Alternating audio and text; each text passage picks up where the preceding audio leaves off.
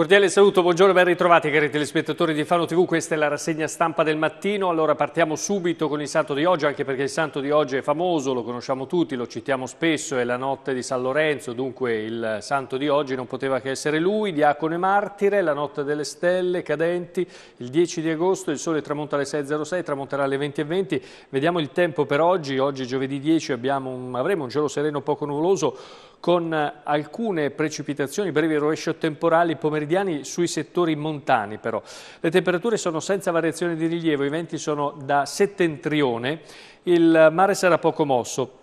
Domani, domani venerdì 11 doveva esserci un tempo perturbato, doveva esserci eh, il cattivo tempo, invece a quanto pare i modelli hanno rielaborato un po' le previsioni e hanno visto eh, bel tempo e quindi domani, venerdì, il tempo sarà comunque discreto su tutta la fascia eh, costiera, le temperature sono in diminuzione, in particolare nei valori massimi, però attenzione perché anche qui c'è qualche eccezione, perché alcune località della fascia costiera le temperature non diminuiranno. Bah. Comunque i venti saranno a prevalente regime di brezza, il mare sarà mosso al mattino, poco mosso invece durante il pomeriggio. Il, il, il cattivo tempo, scusate, è partito il touch, è andato troppo in là. Allora, dicevo, il cattivo tempo è stato spostato di 24 ore e dunque dovrebbe essere sabato. Il cielo sarà infatti irregolarmente nuvoloso, avremo rovesci sparsi che solo localmente potranno risultare anche di forte intensità. Le temperature sono in ulteriore diminuzione, i venti da settentrioni di brezza tesa o vento moderato. Sabato il mare sarà mosso, quindi attenzione. Per quanto riguarda la giornata di domenica, fino ad almeno la prima parte della prossima settimana avremo tempo stabile e soleggiato. E a proposito di eh, pioggia, a proposito di acqua, di cui c'è tanto eh, bisogno, adesso arriva l'invito di multiservizi, marche multiservizi, a chiudere i rubinetti o comunque ad utilizzare l'acqua davvero con parsimonia. E questo è il titolo sul, sul resto del Carlino. Chiudete i rubinetti, appello di Aset e marche multiservizi, ridurre i consumi oppure saranno guai. Autobotti già in 30 comuni, la pioggia, come abbiamo visto, non arriva. Troverete eh, tutte le informazioni pagine, sulle pagine interne. Poi ci sarà lutto cittadino a Fano eh, sabato per l'addio a Bigioricci, eh, un, sarà un saluto da eroe, una donna è scesa giù fino al circolino su San Bartolo, una turista nell'area tra l'altro vietata e le è caduto un sasso eh, sulla testa, l'ha colpita in testa. Qualcuno dirà, oh e c'è chi accende fuochi sotto le pendici del colle e questo invece è un altro problema. Eh, mentre eh, qui sempre sulla prima pagina del resto del Carlino entusiasmo per la Vispesero, parliamo di calcio Serie D, in migliaia alla presentazione della squadra al Miralfiore e poi una spiaggia tutta in bianco illuminata solo dalle candele stasera a Pesaro, grande serata con l'appuntamento con eh, con le candele eh, su tutto il lungomare. Poi invece i giorni del festival, stasera c'è la prima dell'assedio di Corinto, Nino, una bellissima soprano. Il ROF, Rossini Opera Festival, si apre con, un, uh, con nuove stelle. Roberto Abbado dirigerà con il tutore perché ha un'infiammazione al braccio destro. Michele Mariotti domani fa il suo esordio a Salisburgo con Placido Domingo. La prima pagina invece del Corriere Adriatico è tutta per eh, Pesaro a lume di candela. Ecco la notte più attesa dell'anno, si punta al record delle 40.000 presenze sul litorale, concerti e sfilate oltre alle cene romantiche, dunque sale il sipario per la festa dei tre giorni. È l'evento più atteso di Pesaro, eh, quella dell'estate, uno dei principali su tutto il territorio marchigiano che quest'anno potrebbe richiamare lungo i 7 chilometri di spiaggia più di 40.000 persone. Poi eh, c'è anche eh, un appendice che riguarda la solidarietà per il San Bartolo, l'evento certo, ma anche la campagna di solidarietà per eh, la Falesia che non c'è più, devastata dal rogo, l'offerta minima è un euro per la cartolina di Baronciani, simbolo del disastro. Questa è la prima pagina del eh, Corea Adriatico. Entriamo eh, nelle Pagine interne, questo è il resto del Carlino, lutto cittadino e bagnini in divisa, l'addio a Bigio sarà da eroe, mentre Oasi Spiagge eh, dice punire per legge chi fa il bagno quando è proibito, quando c'è la uh, bandiera rossa. E Mattia De Benedittis della lista civica Noi eh, Giovani dice sarebbe bello organizzare alla fine di ogni estate una giornata in Consiglio Comunale per premiare tutti quei bagnini e soccorritori che si sono distinti durante la stagione estiva e sarebbe altrettanto bello un encomio a Pierluigi Ricci. E poi sul Carlino c'è l'appello la, lanciato da Enzo Maggi, presidente dell'associazione Mare Dentro, per eh, una colletta per pagare le spese del funerale. Chi vuole può fare una donazione sull'Iban della sorella di Bigio Cristina, anche, ci sono anche i numeri, le coordinate di eh, riferimento che potrete eh, trovare sul giornale oggi in edicola. Il Corriere Adriatico sulla, eh, sulla pagina di Fano, anche qui la città in lutto per Bigiorici, negozi chiusi per le esequie, De Benedittis propone un riconoscimento ai bagnini che si distinguono nei soccorsi, il funerale sarà sabato, Sabato mattina alle 10 a San Lazzaro, nella chiesa Gran Madre di Dio, il cordoglio sulle spiagge è arrivato fino alla Liguria, mentre a Torrete, a Torrete di Fano, ieri mattina sono state sospese le ricerche del bagnante che si credeva disperso perché nessuno manca all'appello. C'è stata una rapina ieri eh, alla Banca di Credito Cooperativo di Fano in Viale Italia, entra a viso scoperto, facciamo due operazioni, ha detto, poi punta una pistola finta al direttore dell'agenzia, un quarantenne dal fisico asciutto, vestito in jeans e maglietta, eh, si, è si, è portato via un bottino di quasi 4.000 euro. Tutto è successo intorno alle 9.50. Sul Corriere stessa notizia, bandito solitario in banca agisce con il volto scoperto, eh, è stato visto poi allontanarsi a piedi, i suoi tratti ripresi da una telecamera diffusi dalle, alle forze dell'ordine, ma attenzione perché rapinare una banca oggi, grazie alle cassaforti a tempo e alla disponibilità di contante misurata al fabbisogno della clientela, è diventato sempre più rischioso e poco redditizio. Rischioso perché i sistemi di videosorveglianza all'interno e all'esterno degli istituti di credito favoriscono eh, non poco l'identificazione dei rapinatori, mentre raramente in cassa sono disponibili grosse eh, cifre.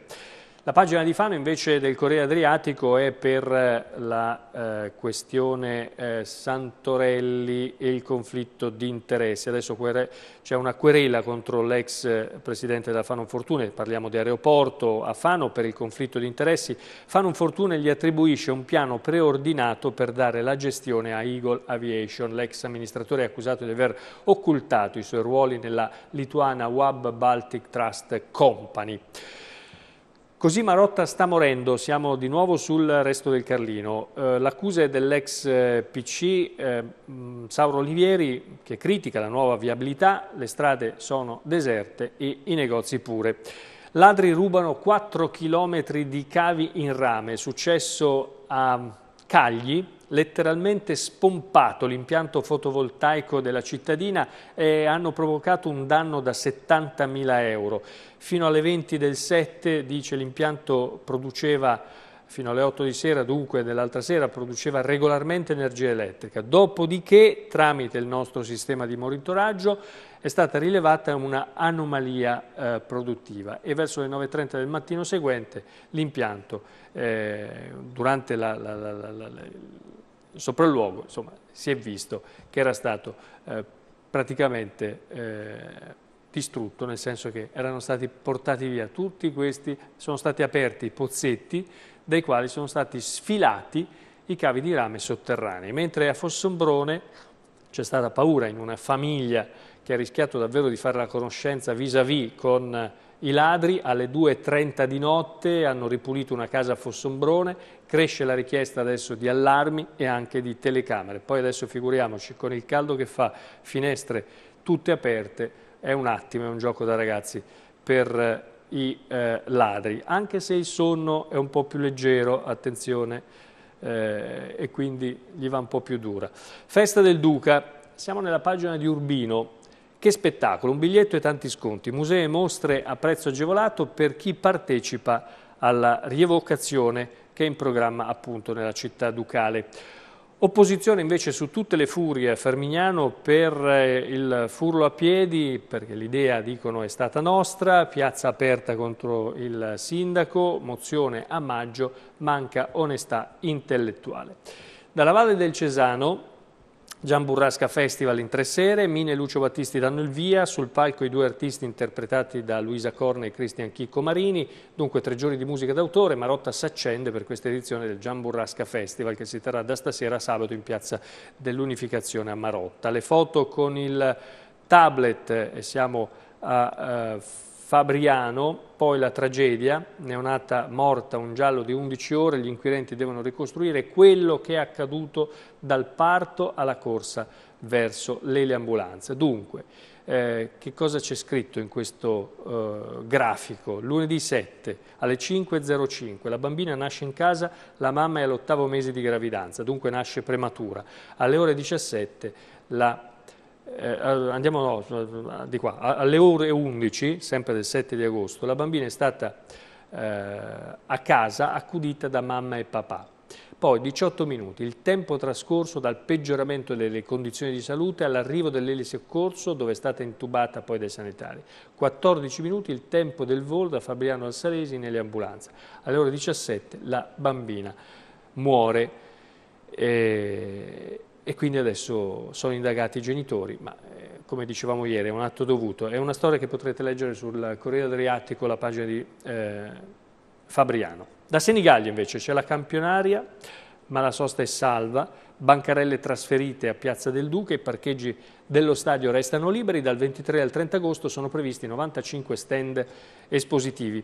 Da Falconare invece eh, una onda anomala, guardate qua sotto, Un'onda anomala sferza la spiaggia di Marina, il mare ha raggiunto la prima fila di ombrelloni, meduse e rischi in acqua, mentre l'apertura è per gli spettacoli, attrazioni e laboratori, in centro c'è la notte bianca dei bambini.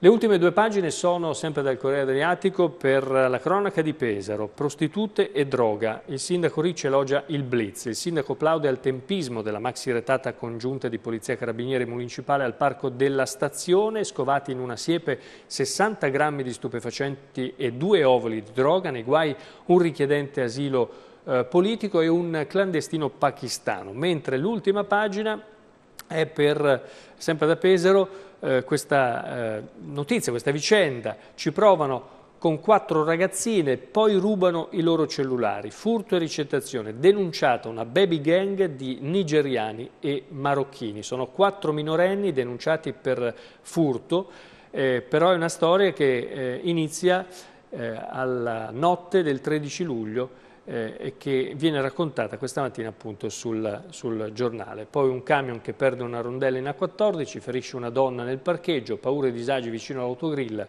eh, successo ieri mattina intorno alle 9.30, eh, un furgone che trasportava materiale di carpenteria sulla 14 ha perso una parte del carico sulla carreggiata che da Fano porta a Pesaro all'altezza dell'autogrill Foglia Ovest. Bene, ci fermiamo qui, la rassegna è finita, noi ci vediamo stasera nel telegiornale delle 20.30, l'informazione invece su, con i giornali torna domani mattina come sempre alle 7.30. A voi tutti l'augurio di una buona giornata, arrivederci.